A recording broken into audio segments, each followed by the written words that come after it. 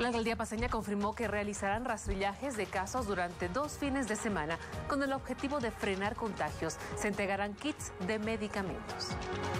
Hemos tomado la decisión de hacer el rastrillaje como tenemos previsto, pero sin cuarentena rígida.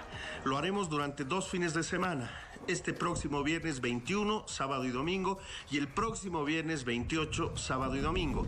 Serán seis días en dos fines de semana en los que visitaremos a las familias de La Paz para verificar su estado de salud, pero también para entregar los kits de medicamentos a las familias que así lo necesitan.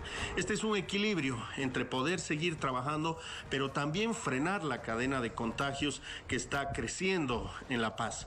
Lo que necesitamos es que tú puedas quedarte en tu casa estos dos fines de semana largos. Se suspenderán actividades ambos viernes, de tal manera que entregues información verídica, confiable al personal de salud y a partir de ello todos podamos hacer frente a esta pandemia.